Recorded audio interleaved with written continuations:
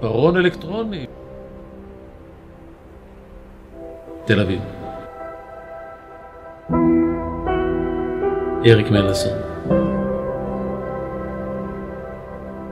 רם קולס. בטון. אוטובוס.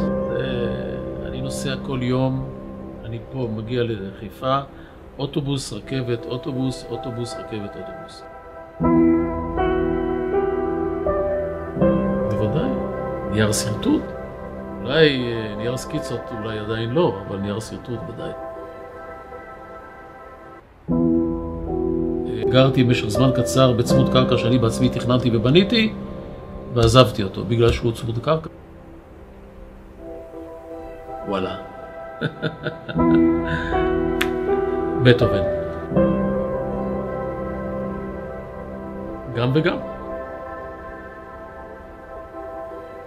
בעיקר עם הנכדים.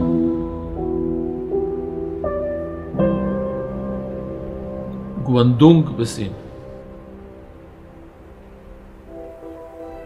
אני לוקח את המשפחה ליער השחור בגרמניה.